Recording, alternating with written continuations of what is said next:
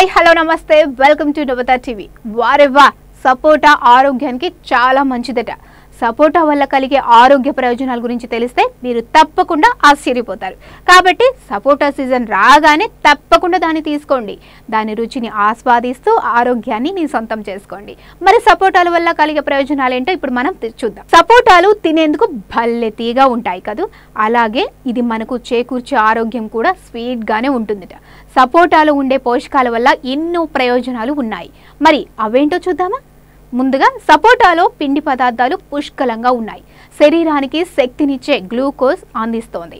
సపోటాలో ఉండే vitamin A కంటికి చాలా మంచిది. సపోటాలో ఆరోగ్యానికి మేలు చేసే నియాసిన్ క్యాప్ ఐరన్ లాంటివి మూలకాలు ఉన్నాయి.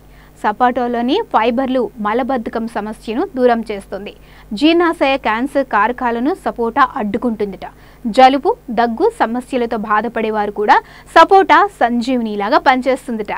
కిడ్నీలో ఏర్పడే రాళ్ళను తొలగించడంలోనూ సపోటాకు సాటి లేదని వైద్య నిపుణులు అంటున్నారు. సపోటాలో విటమిన్ బి సి కూడా ఉంటాయి. దీనివల్ల రోగనిరోధక శక్తి పెరుగుతుంది. సపోటాలో కాల్షియం ఫాస్ఫరస్ పుష్కలంగా లభించడం వల్ల ఎముకలు గట్టిగా ఉంటాయి. గర్భిణీలకు పాలు ఇచ్చే తల్లులకు సపోటా చాలా మేలు చేస్తుందట. రోజు సపోటా జ్యూస్ తాగే వారికి జుట్టు ఒత్తుగా పెరుగుతుందట. జుట్టు రాలడం చుంటు సమస్యలు కూడా ఉండవట.